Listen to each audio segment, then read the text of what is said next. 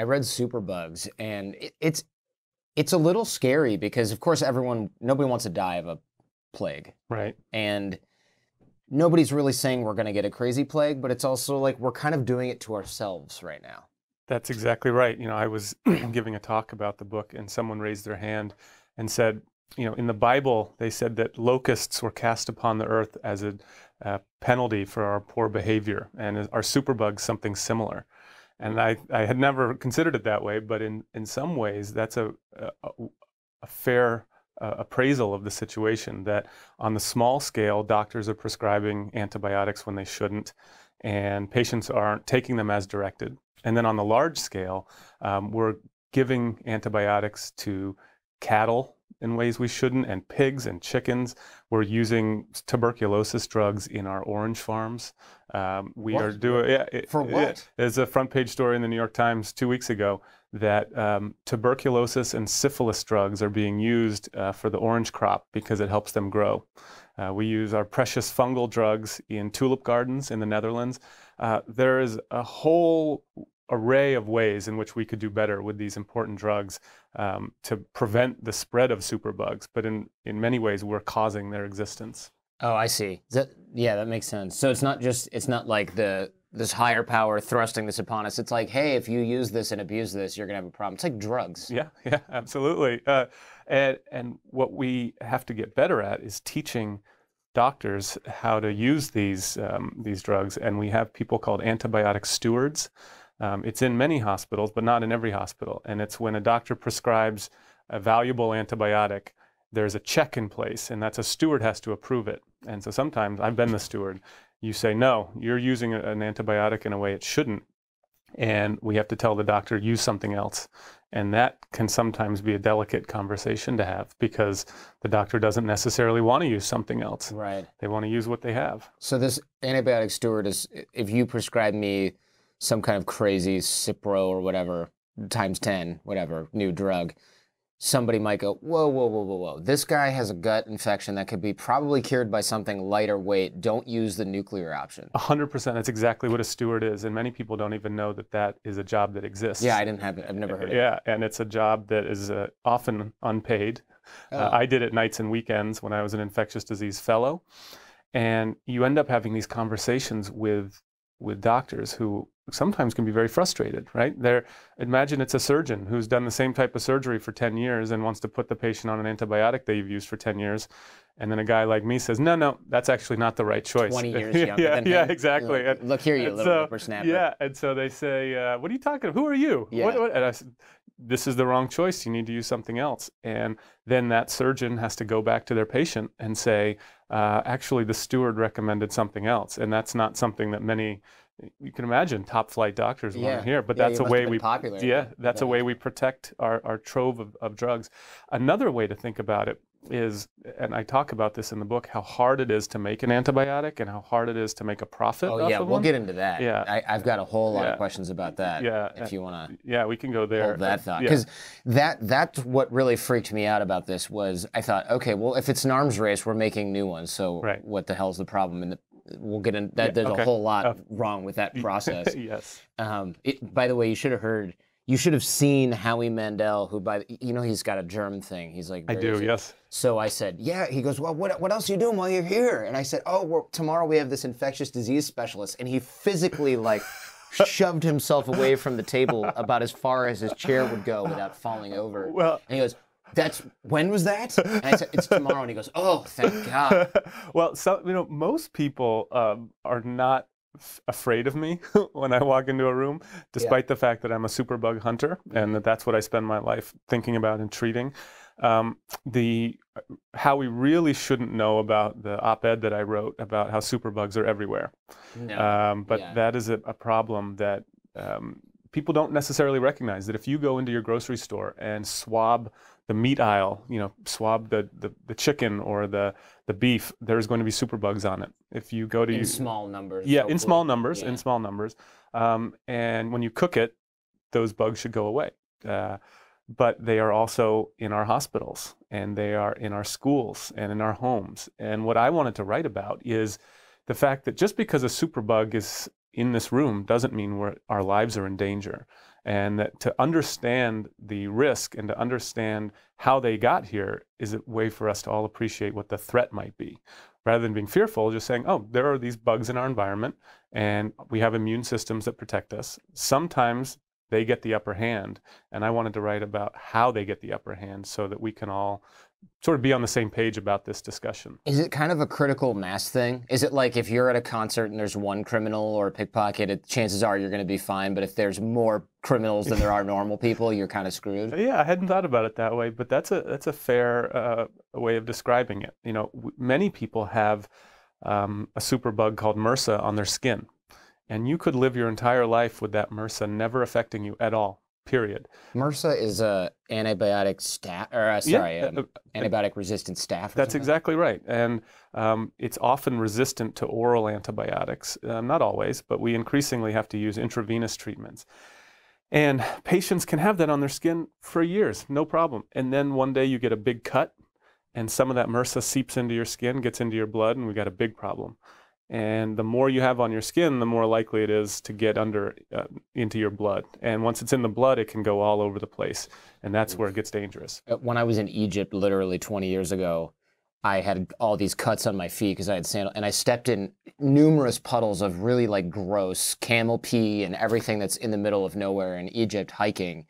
And when I got home, I got really, really, really sick. Really? It turned out I had a blood infection that was all, it was staph or something. Oh. But I was 20. Yeah. And I was mm-hmm. like Offended. sleeping and eating and working out. And they were like, here, just take this really potent antibiotic. And I ended up taking it and like overnight symptoms disappeared. But I remember they were like, take the whole bottle. Right. And, so I did. And, and that's good that you did. And this is one of the ways that superbugs are created if people don't take the whole bottle because bacteria are constantly mutating, constantly evolving. And if you're supposed to take 10 days of an antibiotic and you only take two, the bacteria get a whiff of the drug and say, aha, here's what it looks like. Mm-hmm. Let's create an enzyme to destroy it. Whereas if you take it for all 10 days, you actually just wipe out the bacterium. Right. And so it's constantly um, trying to fight against what we throw at them. Which is rough because it's the bacteria's life. How long did bacteria live? Like a few hours, and then they evolve, or well, how does they, it work? They some can live for for t- decades. Um, some the li- same organism. Yeah, yeah, because yeah. they they divide very very slowly. One to think about that divides slowly that's hard to treat is tuberculosis. It's a mycobacterium that could live in your lung. What does that mean, uh, mold? It's a between a mold and a bacterium. That's a, that's exactly right. And the there, it's so hard to treat because it divides so slowly. If something is dividing very quickly and growing very quickly, and you throw a wrench into that organism, it suddenly breaks down and it can't divide the way it wants, and it starts making mistakes. Mm.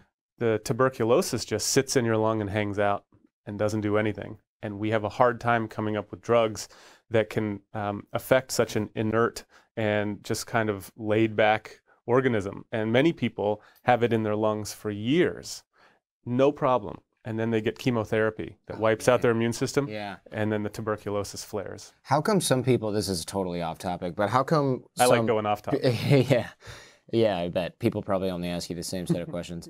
How come some people have that tuberculosis shot mark on their arm from other countries mm-hmm. and I don't have that? Yeah, so there is a vaccine for tuberculosis called BCG that is used in a number of countries um, where the rates are so high that they do that to protect them. So whenever you're thinking about a vaccine, just as a blanket statement, the first question you need to ask yourself is before you develop the vaccine is how common is that infection in our society?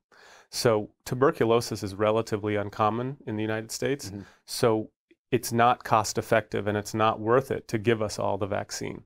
Um, the problem with this is that people see a condition now like measles. Mm-hmm. And they say, oh, there's no measles, so I don't need a vaccine. And that's actually exactly the wrong thought. Um, the reason that we haven't had measles around for 20 years is because of something called herd immunity. People all get vaccinated, and there's no risk to the population. I work in New York where we have a strong anti vax uh, population. And we also have this other group that hasn't been talked about, which is a, a, number of people will say, I believe the vaccine works, I just don't want to give it to my kid. Right. So they're what's that concept in economics? Free riding. Yeah. Yeah, where everybody else is Yeah. taking care of the common things, so Yeah. I'm just not gonna. But if everyone thinks that way, then no one takes care of the common. That's right. And one of The the, one of the arguments now is for the people who the kids who are unvaccinated, um, whether or not they should be allowed to go into public spaces because they're at risk. They could get measles. And if you say they can't go, is that child abuse? Right. I think we talked about this on the phone, where people were like, "Oh, well, it's not fair because to ban my kid from McDonald's."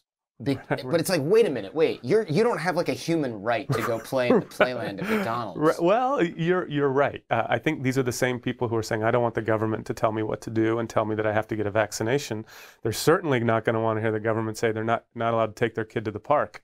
And how do you get through to people who don't want to hear what you have to say? To me, it is a lot like having a political conversation with somebody who disagrees with your politics. Yeah. And I cannot say that I've figured out a way to meet people uh, where they're at and change their minds. I try to meet them where they're at, but then the conversation doesn't always go where I want it to go. Right. Yeah. Well, well, sometimes you have to meet people so far outside the, the scope of kind of rational thought that you're going. It, it's if I want you to meet me in L.A. and we're starting in Chicago, it's just going to take longer to get. Yeah, it, exactly. Uh, I think there are a lot of counter arguments that are that don't make sense to me that I hear from friends of mine that I just think like, oh, I hate that we're having this conversation. Yeah. Like uh, one that I wrote down from my friend. I won't out him on the show here because he's also sort of like people know who he is. Arguments uh, that he makes are diseases diseases like measles mostly affect the vaccinated, so vaccines don't work. He says whenever there's a measles yes. outbreak, 85% of those people are vaccinated. And I'm like, well, if that's true, which I'm not sure about, there's another reason for it. There is a, a, a popular paper that is passed around the anti vaccine community, Mm-hmm. which shows that when people come into the emergency room thinking that they have measles, a small percentage of them actually have just gotten the measles vaccine and are having a reaction to the vaccine, having a fever or feeling lousy, even maybe having a rash. And those people may initially be misdescribed as having measles, but they're really just responding to the vaccine. This is a side argument that's meant to confuse people and to mystify things and to cloud the, the, the, the discussion. The simple answer to this is the vaccine works, it's safe. When people don't get vaccinated, we have outbreaks. Uh, I'm seeing measles now, um, and I did not see it 10 years ago. And the reason for that is people aren't getting vaccinated. Um, in my book, I talk more about the bacteria and about the fungi, but you know these viruses can certainly be just as lethal as any other bacterial superbug. And how do you meet people and say, you know, you really should get vaccinated? It's not as simple as that, as you can imagine. Right. Yeah, sure. No, if that was that simple, then people would follow the. I, I, I'm I'm also not one to be like, hey, we need all these regulations Mm-hmm. for everything. But herd immunity is one where things like the tragedy of the commons, where which we were talking about, if you don't vaccinate. The, people will go, well, you know, let these people don't va- not vaccinate, then their their you know their people will die off, and it's like, well, one, th- it's not them, it's their kid, Right. So there's that. Right. But the other thing is, my wife is pregnant right now. Mm-hmm. It's my unborn kid that's going to get screwed, or my newborn that's going to get screwed because some dumbass took their kid to McDonald's and now my kid gets the frickin' measles right from A- him. and one of the things that people have not always appreciated is that infectious diseases have uh, are a political issue. Yeah. and you know how the government should step in and what they should regulate and, and not regulate. And one of the most important political issues no one is yet talking about now is how we're going to confront superbugs.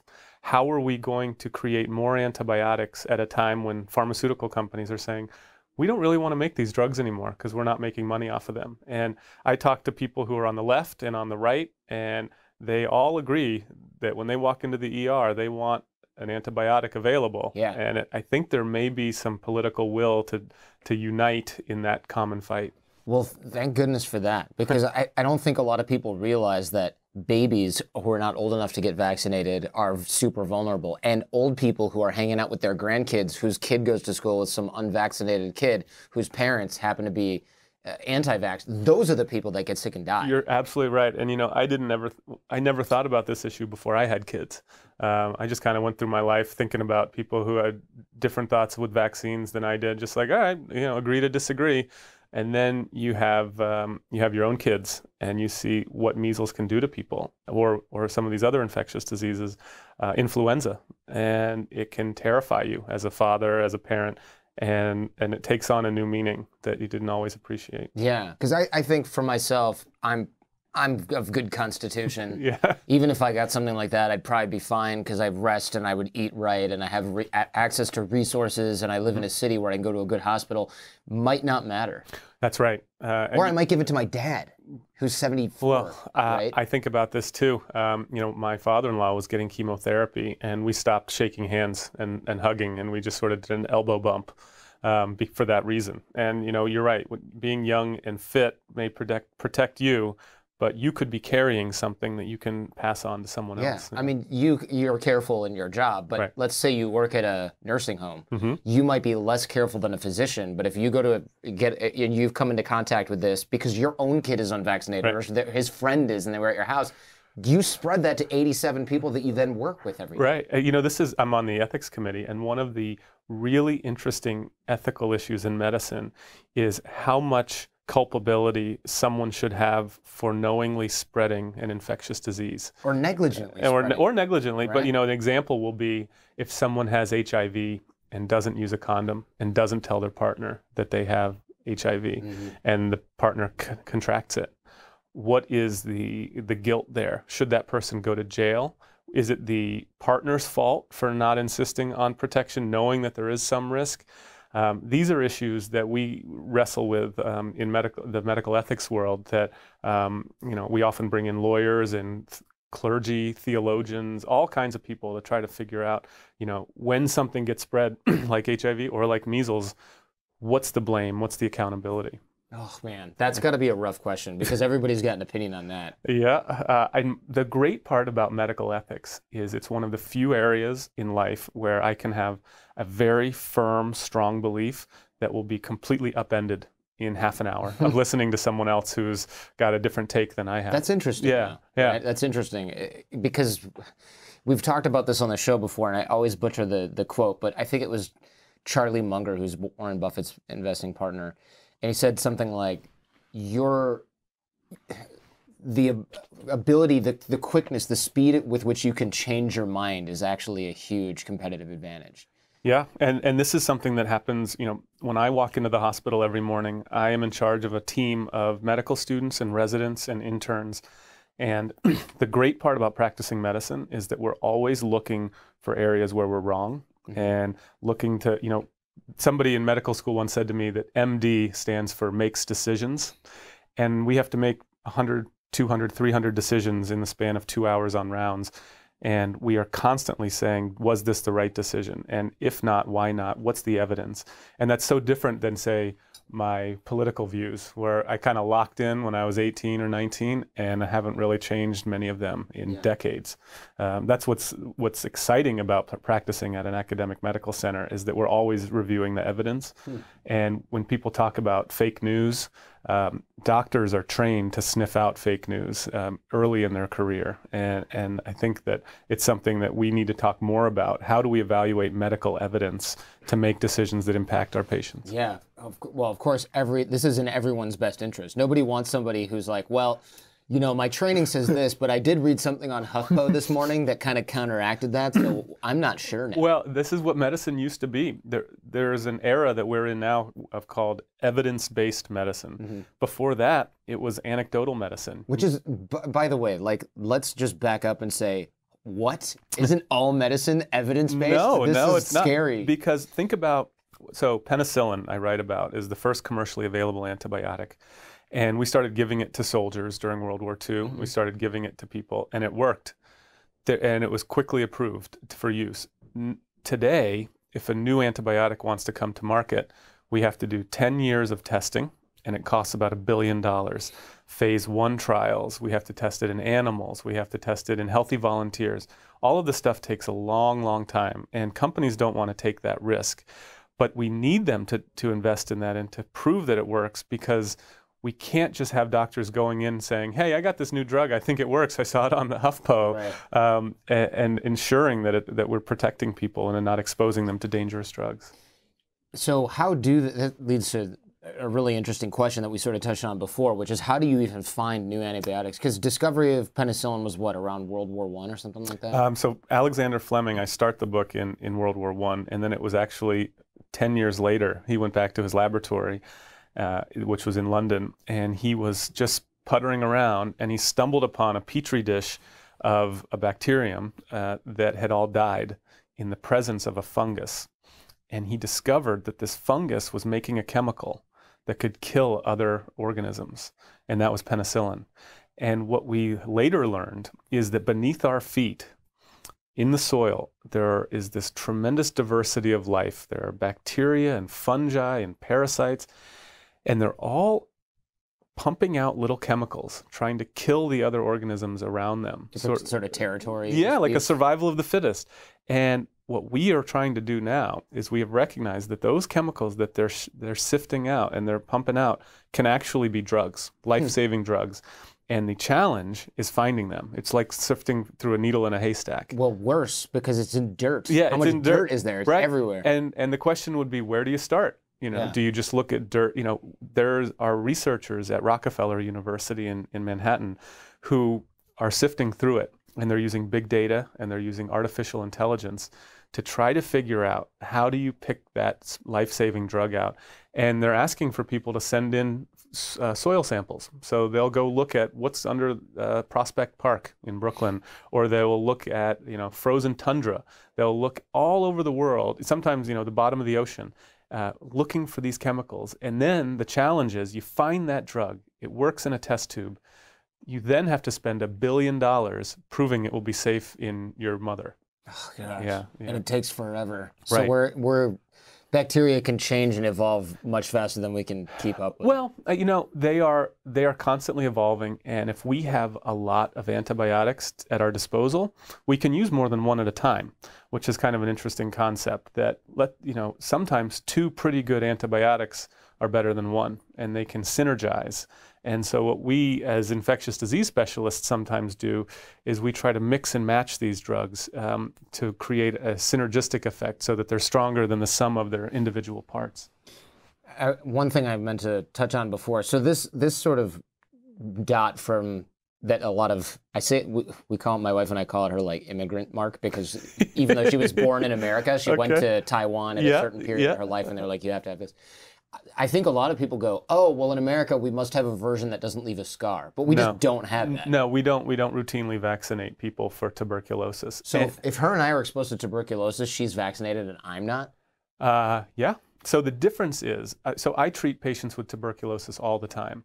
Many patients have it sitting in their lung. Yeah, you said that. But they're not contagious. Okay. Because they're not coughing it up. What happens is it gets in your lung and your body forms a wall around it. It's almost like an abscess that is just isolated from the world, and it doesn't go anywhere. And so you're you are um, somebody who has have latent tuberculosis, which means it's just kind of hanging out, and that's very different than the active tuberculosis, which we think about from like the 1800s, where people would die. We called it consumption back mm-hmm. then, and they would waste away and they would go to these uh, sanitariums and they you know we didn't have any drugs for them. So we would tell them to just get fresh air you know go up to the Swiss Swiss Alps and live in a cave yeah and live in a cave. And and now we have all kinds of drugs. And the that is another area where we're racing to come up with new treatments. And there's been a lot of investment from people like the Bill and Melinda Gates Foundation and a lot of philanthropic drive for more drugs that's in contrast to some of these other superbugs. Um, we have seen that when philanthropy pours in for HIV or for tuberculosis or for malaria, that we can get results. We don't have that happening now for superbugs. Uh, people don't find it to be a sexy topic yet, no. uh, or or may never. And we don't have you know Warren Buffett's or whoever saying we you know we need to put 500 million dollars towards developing new antibiotics. And that's part of my goal here is to raise awareness so that people see this is a real problem. Mm-hmm. The World Health Organization is saying that by 2050, 10 million people will die every year worldwide from superbugs. That's more than heart disease and 10 cancer. Million? 10 million. And that's more than heart disease or cancer. Uh, and we don't want to be in a position where 30 years from now that's happening and we're saying, well, why didn't we do anything? Yeah. We have a chance now to intervene, to invest in new drugs. Um, but, but, this is really the time to act. So why has there been such a slowdown in new antibiotic discovery? And I know we touched on this before, and you said the approval process takes a year, Right. but there's more to it There is a lot more to it. You're right. Um, the first thing to think about, uh, and a patient asked me this a long time ago, was why is it so hard to make an antibiotic? And the business model is very different for these type of drugs than for other types. So think about a blood pressure medication. A doctor would prescribe it to a patient and say, take this every morning for the rest of your life. That's a great business model for a company that makes that drug. Then think about an antibiotic. They're only prescribed in short courses. Doctors like me are very stingy about doling them out. And then even that best new antibiotic is going to eventually wear out its welcome when the bacteria mutate and evolve. And so what you have are companies saying, why do we want to make a drug that doctors don't want to prescribe? And that is um, the crux of the problem. And what we're finding is that these companies are saying, we don't want to do this. And if we end up uh, getting a drug approved, um, we're going to charge so much money for it, $5,000 a dose, that we're going to try to recoup our billion dollar investment in a way that we can aggressively recoup it. And hospitals don't have to use these drugs. And in fact, many of the best hospitals in the country will say, that's too expensive. We're not going to use it. And that's a shame. Uh, that's a dangerous place to put uh, patients because you know what I do every morning is I'm at the bedside of a patient trying to come up with a treatment, and I know that many hospitals are not using the newest treatments because they're so expensive. That's different than heart disease or cancer, where we have the best chemo. We, if you know, if there's a, a stellar new cardiovascular drug, we're going to use it. But if there's a brand new antibiotic, we may not because the finances are so tight with these types of conditions. So drug companies then shift to more profitable diseases. Mm. More, That- it's weird, but it's almost like they shift to something that's more fashionable, Well, that's going to make more money. You know, the, I write about uh, an antibiotic in my book, and the company that makes it also makes Botox. And they made, you know, $3 billion in sales on Botox last year. And so this presents an opportunity where you can say to a company like this, you know, why don't we make a deal where we can entice you to invest in more antibiotics with some of these profits you're making? And these are called push and pull incentives. So a push incentive is to go to that company and say, your corporate tax rate is 20%. Let's cut it to 15% if you promise to invest a portion of those profits into new antibiotics. Mm-hmm. This is a very popular idea with these companies because it's a guaranteed way for them to make more money and for them to invest in new drugs. The idea of giving a tax cut to big pharma is something that a lot of people don't want to think about. right, You know, it it's like- sounds crooked. it does. It does. It's like bailing out the you know the, banks. The banks, and it's like, eh, why should we have to you know negotiate with the terrorists Yeah. in this case? Then there is the other option, which is called a pull incentive, which is to say if if a company does the investment of a billion dollars and they get that drug approved, rather than giving them five years of market exclusivity, you give them 25 years. Yeah. And that way, no generic can challenge them and they can make even more money off the drug.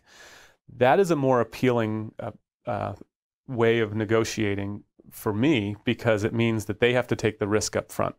The downside is that they end up charging more for the drug. Yeah, and then nobody can Right, copy. Right. And then so some people say, wait a second.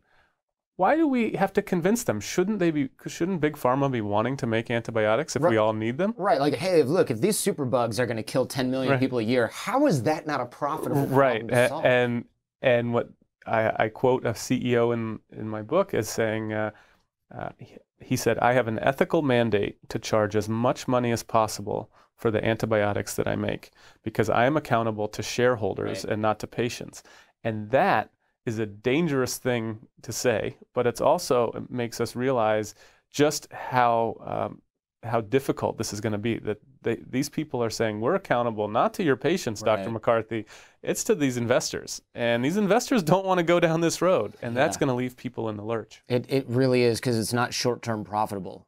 It, and especially because, as you mentioned in the book, in Superbugs, the antibiotics are short courses. So, like, you don't need three years worth of this drug or. right, right. Or even three months half the time. You need like two weeks or a month. Or, right? yeah, and and you know there's another school of thought, which is to say, the pharmaceutical industry doesn't want to make these drugs. Well, good riddance. we should nationalize the production. Yeah, well, and, yeah, uh, you're talking to the wrong guy for that. I'm I- not. I- and and I'll tell you that theory is is gaining traction in England, and the idea is that we should look at antibiotics the way we look at um, electricity or water as a public good. Mhm. The problem is, if you talk to investors, they say this is a disaster. Uh, Yeah, well- and it's going to curb uh, innovation, and it's never going to work. And there's some argument to say it will not work. Um, in England, they've they've tried this, and it has not been uh, a success. And and I I think that what we really need to do is focus on the enticing the pharmaceutical industry. Yeah. As unpalatable as it might be, private companies that know how to make money are the best people to come up with innovations that they can get out in a short period of time. Uh, I agree, uh, and I'm I'm no economist. You know, I'm a physician and a researcher. But when you talk to the experts in the National Institute of Health and you talk to the top scientists, they say we need this pharmaceutical partner. That the federal government is very good at investing in scientists who can make these discoveries, but then we need private industry to then develop it. And you know, I quote um, uh, the head of uh, one of the federal agencies who says, "People don't realize that the pharmaceutical industry has perfected many difficult aspects of drug development. You know, the making sure that the lot uh, is not contaminated, and that the distribution and the marketing and the, these things that they do well. And they say." I work in the federal government. You don't want the federal government doing this aspect. And so that's, to me, a really interesting political decision or conversation that we're going to be having in 2020 is the antibiotic market is broken. What are you going to do to fix it? Mhm. You know, what is a candidate's idea? What is their plan? Because you're going to learn a lot about how they see healthcare and the government's role in it by how they answer that question. And it's a question that no one is asking the candidates yet. Um, everyone in medicine recognizes we're at this breaking point where we need new drugs. What are the plans? I, I can't wait to hear them. Yeah, I'm. I myself am curious. The other problem with the drugs, and you mentioned this also in superbugs, is they eventually become obsolete. So it's not like it's not Botox. I don't know. Maybe you can become immune to Botox too, but it it just stops working Right. everywhere because the bacteria has evolved. So it's like, oops. Right. No, and that's um, that's yet another part of this that, that those blood pressure drugs aren't just like wearing out, Right. but these antibiotics and and so when people say that they're different, it's true. It is different than you know a cholesterol medication. Um, and the enticements that we have, I think, need to be pretty aggressive because the market is so slim. And what's going to be tricky about these negotiations is big pharma is going to look so bad after this, the opiate trial that's going on in Oklahoma, and some of these other revelations are going to come out that it may be tricky to go to you know Johnson and Johnson is is on trial right now in Oklahoma for the opiate um, way they've marketed that stuff. To go to them and say, hey, could we give you a tax cut so that you go back to making antibiotics Yeah. because you were really good at that a few years ago. Uh, but those are the conversations we may be having. I mean, that to me is this. It it's just so not like a black and white situation. There's not s- some sort of clear cut solution. And the the other problem, of course, that you also mentioned is that it's only given to sick people. So Viagra is like everyone wants a piece of that. Right. So that's worth a ton of money, but Right. nobody's like, oh man, let me get some of that M- MRSA, Or, or, uh, or is the Z, yeah the Z pack that Yeah. uh, no Let me and get some Cipro. and this is the fundamental weekend. the fundamental problem with it. Um, but part of it is also just raising awareness that this is a big issue, and the more people who are thinking about it, the more people who are engaged with it. You know, I I sometimes talk with like uh, business school guys or people in consulting. And when they come to appreciate the problem, they get really excited because they're like, oh, this is clearly an important issue that people aren't thinking about and talking about, and they can make a real difference in, in people's lives. It's amazing how much this stuff does get overprescribed. I- went to have my wisdom teeth removed probably, I don't know, 20 years ago or more now. Mm-hmm. And the oral surgeon said, Oh man, did you have tetracycline when you were younger? And I said, How do you know? And he goes, The inside of your teeth Oh. are completely brown Well, from this. And he goes, Why? How much did you have? I said, I've been, ta- I took it for years on end as a kid oh my God. because my dermatologist was like, "Yeah, this is a great way to prevent acne." so I took it for literally, I mean, years, well, all through middle and high school. Seven years probably I stayed on this. Well, you hit on one of the most fascinating parts of the history of antibiotics is that you said that tetracycline was in your teeth. Um, they could see it. And what we have found is researchers who have excavated mummies from Africa uh, are finding that they have tetracycline in their bones as well. In their bones? In their bones. Oh, so is it in my bones, not just my teeth? It's in, well, sense. it's in your teeth and, and, and a little bit in the bones. But the idea is that, you know, a millennia ago, that human beings recognized that there was something in the environment that they could eat that would help them, and that we were consuming antibiotics before we even knew what they were. And we found that the in, rates of infection in those communities, in those societies, were lower because they were consuming antibiotics unwittingly. Where does tetracycline or something naturally occur? You know, I'm not entirely sure where okay. they got that from. I think that's sort of the next step is when you look at a mummy and you're like, hey, they got tetracycline in there? What yeah, that's how so did that bizarre. happen? Uh, then you start backtracking and say, well, what kind of foods, what kind of things were they eating? Is it from uh, plant-based diet? Was it from the you know animals? And then the other thing that you mentioned was that it was your dentist, and one of the next big frontiers for us is improving the antibiotic prescribing practices of dentists. You know, I mentioned that in the hospital we have these antibiotic stewards mm-hmm. who say, "Hey, Mr. Surgeon, Mrs. Surgeon, you can't prescribe this." We don't have that as much in the dental world. So it's often um, dentists saying, "Oh, you know, just just in case, I'll give you a prescription for seven days of, of an mm-hmm. antibiotic," and that leads to one study found 80% of antibiotics prescribed by dentists are inappropriate. That's a ton. well, this was my dermatologist too. So, oh, hey, dermat- your yeah. acne. Oh, you don't want to get one zit in sixth grade. Here's a, right. something that's going to fundamentally alter the composition of your body forever. yeah, that's exactly right. That's it's it's really it makes me annoyed because I remember telling my mom it's probably bad to take a drug every day, and my mom was like, yeah. So we asked her, and she's like, it's fine. I'm a doctor. You're just an idiot patient who doesn't know anything. And I'm like, nope. You just want to make money off this prescription. Wow. You don't give a crap that my teeth are going to turn brown. Well, you're I mean you're absolutely right yeah. that that there are times where people prescribe things and the patient knows more than the doctor. Uh, and I have this a lot where patients will come to me and say, Are you familiar with colloidal silver as mm-hmm. a way of pre- preventing infection or um, probiotics or something that maybe not in my wheelhouse? Mm-hmm. And I end up learning a lot from patients just by the conversations we have at the bedside where they say, You know, my uncle is using um, this new treatment. What do you think? And when I first started out as a doctor, I w- was inclined to say, oh, well, there's no evidence to use mm-hmm. that.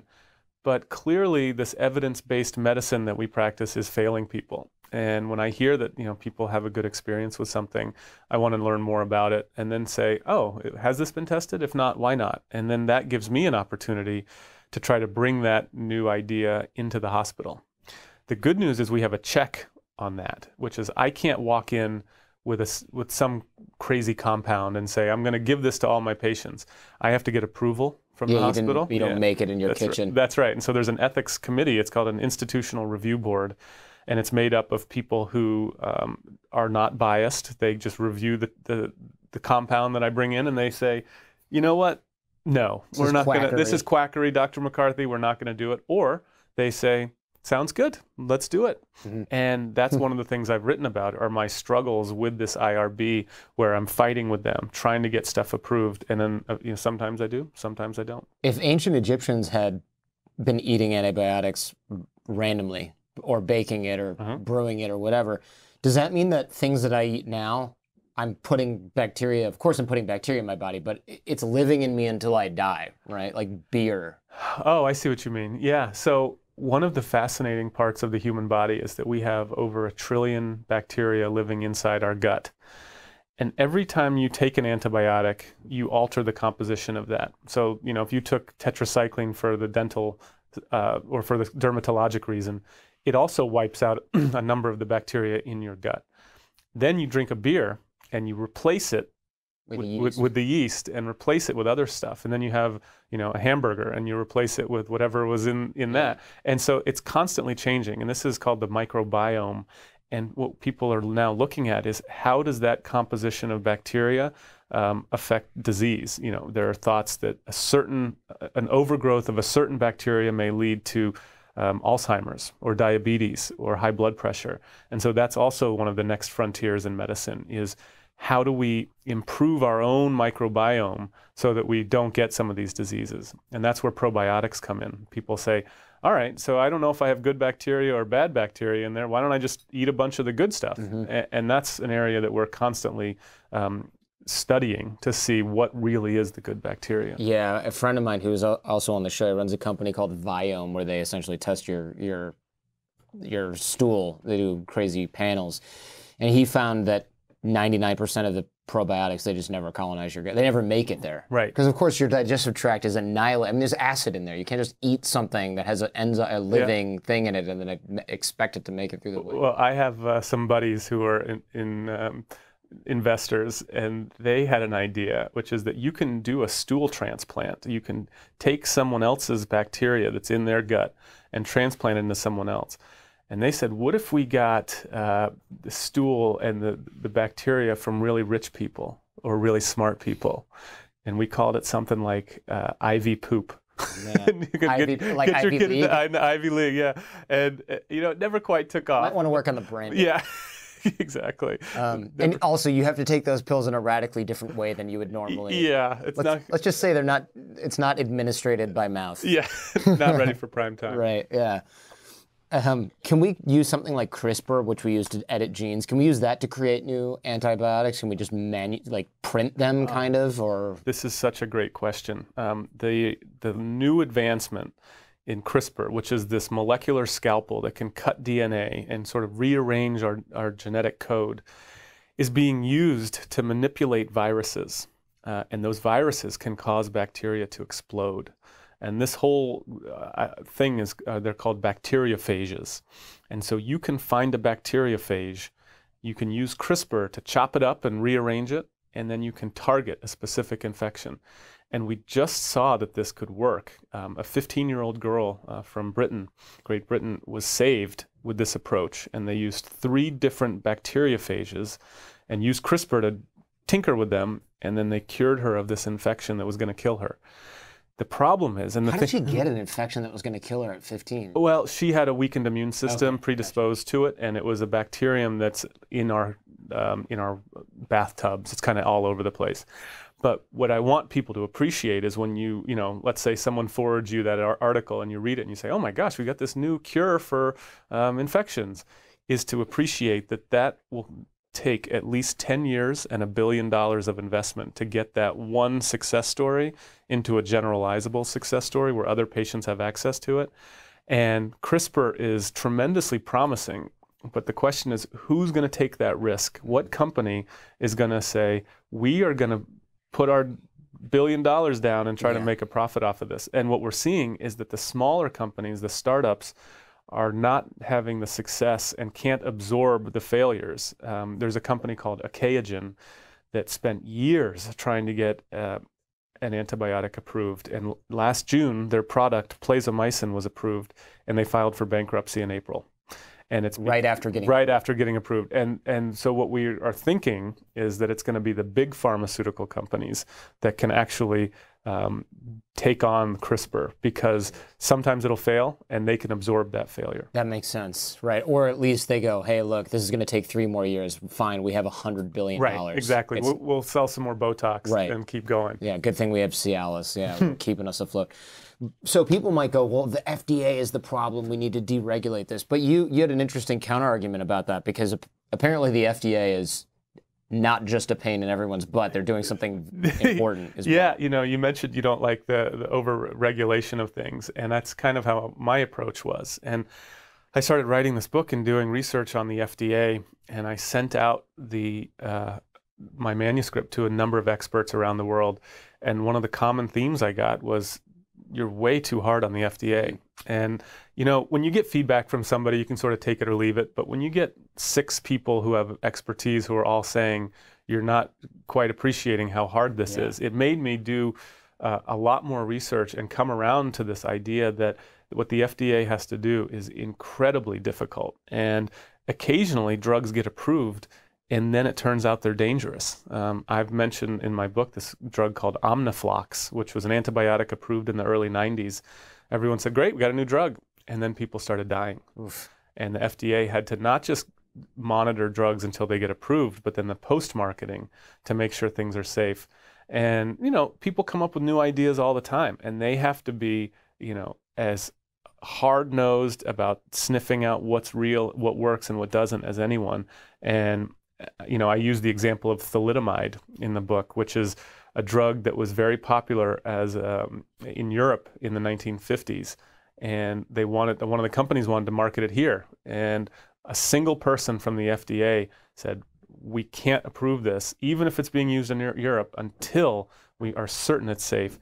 And she's this one person said no, and she's later discovered that thalidomide was causing birth defects. That's the one where the kids have like no upper arm That's and right. their hand is That's- sticking that's out, or they have like two fingers. That's exactly right. Oh, and she so saved she saved thousands of kids from growing up this way. And she was a member of the FDA who didn't bow to political pressure, didn't bow to doctors and companies who were saying, "Come on, come on, you're taking too long. Let's go, let's go." Mm-hmm. And and so I, I think that's a, a good example. Yeah, I think in Superbugs you'd said something like the FDA has saved more lives than penicillin, which is a huge. I mean, think about how many people have had infections that you needed penicillin. Every person in the world Right, has used this. Right. So, you know, I have a, a, a complicated relationship with the FDA where I, you know, appreciate all they've done. And on the other hand, I'm still constantly saying, come on, I wish they were a little faster. Yeah, I mean, I'm, uh, there's probably ways to speed it up, but maybe Right. they're not ideal. And, they're coming up with new ways where they can fast track drugs for approval. And I think that's the kind of the future of where this needs to go is to say, okay, not every drug is create, created equally. If there is one that looks like it may help society and benefits everyone, like let's give that a quicker review. And I think that's a good plan. Yeah, right. Like Botox can go a little bit further down the. The next Botox that's or right. Cialis can go a little bit further down the food chain That's, that's right. than something that helps us kill infections in p- chronically ill patients. yes. Um, the problem with the FDA, as you mentioned, is apparently there's so much lobbying that the supplement industry is off limits, which I always find interesting because people will market this supplement, you read it, and it goes, not regulated by the FDA. Right. The FDA has not evaluated these. And it's like, wait, wait, wait. People take 100 supplements and then get one prescription. I don't know what the actual ratio Yeah, is, but yeah. my closet is full of frickin' supplements and I have zero prescription medications. Right. right. Yeah. Uh, this is something that has always intrigued me. That it's simp- simply from lobbying efforts that Yeah. these drugs are. You know, like you go to GNC, Yeah. and they've just got aisles of stuff that that is just. Com- it's like the Wild West. It's complete bullcrap. well- uh, Well, what it is, right? Like, oh, hey, this helps you metabolize blah blah blah better, so that it gets to your muscles faster. And it's like, well, who evaluated this? Right. Oh, nobody. and I used to take this stuff. You know, when I was like in, in college and high school, and I would take you know creatine, and I would take some of these Same. things, and. I don't know if they work. I, I just kind of did it because that's what everyone else was doing, and now I have a very different view of that stuff. Yeah, I know the FDA originally came about because people were putting crazy chemicals in food, and people would eat like, oh yeah, there's a crap load of preservatives in here that we wouldn't feed pigs, but feed it to your kids every morning. That's exactly right. Um, one of the first antibiotics to become available um, in the United States was a sulfa drug. And a company in Tennessee mixed that sulfa antibiotic with some sweet tasting, um, like elixir, so that people would, would enjoy it when they take the, this antibiotic. It turned out that elixir was antifreeze.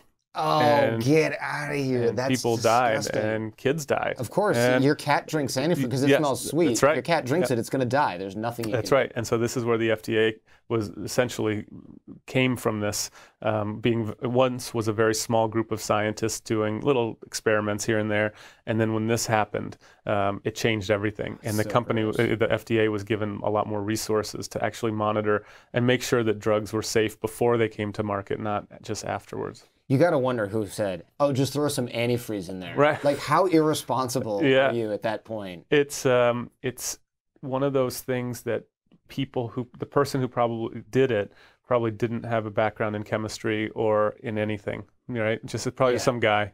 It's just that is beyond Right. unbelievable. You, that's so irresponsible. That's because I would never go. You know, I have no background in this, but let's just do it. Anyway. I would go. You know, let's just make sure that this is intact. Have, Right, have at least one person take a quick look at this. I got some really great advice when I was in medical school that a way to be successful is to be fearless. Mm-hmm. Now I don't know that that's true. Sometimes you have to know your limitations. Yeah. And maybe if you're not the guy who should be mixing antifreeze with antibiotics and you know, it was probably some ambitious salesman Um, and, and, I think that in, increasingly people need to sort of recognize where their area of expertise ends. Yeah, look, if you're selling hair care products and you put something in there and some people's hair falls out, it's like, ooh, yeah, yeah. you should get sued for that. yeah. But if you're like, this will taste better to kids if we put antifreeze in it, yeah, but, you know what you are draw the line. What you're hitting upon is one of the things that I find so fascinating, which is the history of human experimentation, mm-hmm. and how is it that we test things out on people. And what I like to write about and think about is how we get informed consent from mm-hmm. patients you know, I show up in the hospital treating people, but I also approach them about enrolling in clinical trials. And what I wrestle with are the people who are a bit too eager to join the trial. And I'll say, you know, I've got this new drug, it's for this condition that you have. And I don't think they even necessarily understand what I'm saying, but they say, yeah, sure, I'll do it. Well, they trust you. Yeah, so they assume that's, that's that you're recommending it. Exactly. Asking. And, and, you know, when you have to make very clear, you know, we don't know if this treatment's going to work. And somebody caught me in a really wonderful situation where they said, I just have one question for you. Would you give this drug to your mom? Mm-hmm.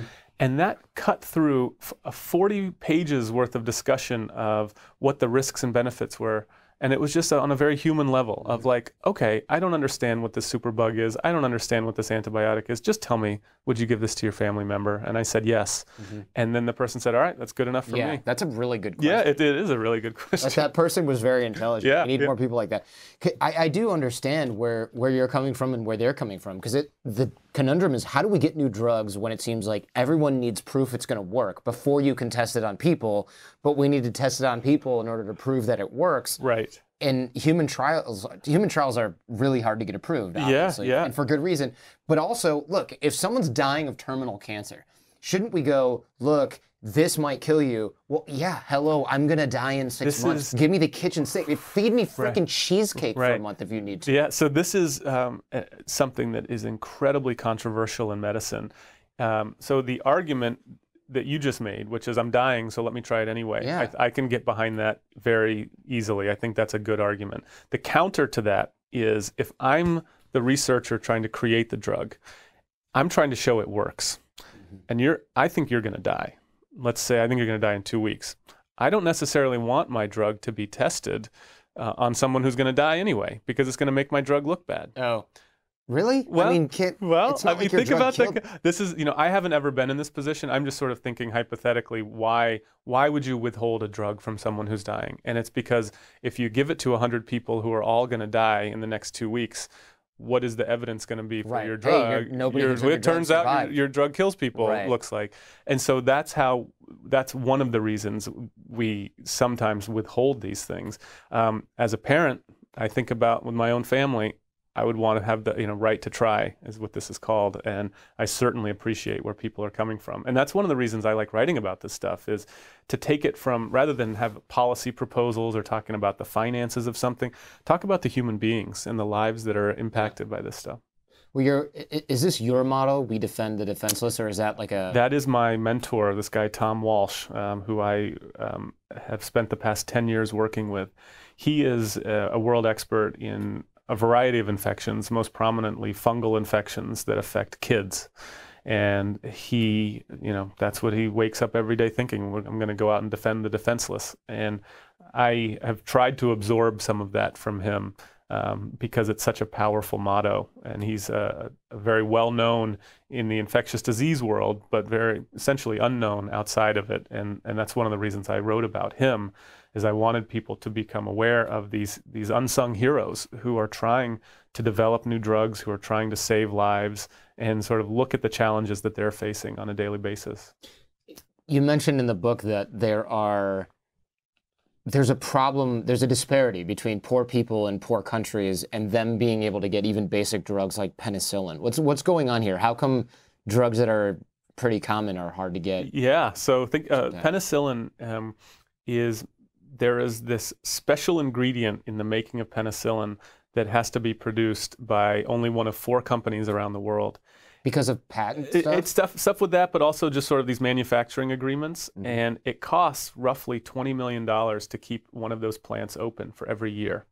And so if a company is not making a profit off of a drug like penicillin, they're not going to continue to make it, despite the fact that we know in India there are millions of people who need penicillin to prevent rheumatic heart disease or to prevent other types of infections or to treat other infections. But these companies that manufacture this stuff are just looking at their bottom line. And they're not saying, oh, look at the sub Saharan Africa really needs our drug. They don't care. And you know, we'll see periodically these um, gestures where a company will make their drug available to a poor area. Um, I always feel very mixed emotions about that because I'm glad they're doing something, but I always want so much more. And Sure. it always comes down to a financial decision. So they can't just ship over excess penicillin from the United States to this to sub-Saharan Africa, or it's just who's going to pay for that? It's gonna who's gonna arrange that, and you know part of writing this about this story is to just get people to be fired up about it and be like, wait, you're just telling me that penicillin is not available in places where they desperately need it, and the drug only costs like a couple of bucks, Right. and no one's on top of this. right. Yeah, uh, th- that was the you know that was the outrage that I had uh, as I was working on this, and many of the mentors who I've been drawn to in life are people like Paul Farmer, who spends his life trying to get um, HIV drugs and tuberculosis to people in uh, uh, tuberculosis drugs to people in poor countries, and you know just the fact that they don't have a voice and trying to give a voice to people who don't have treatment options. And sometimes that's just my patients in New York City, and other times it's people who are, you know, in other parts of the world, and no one seems to care.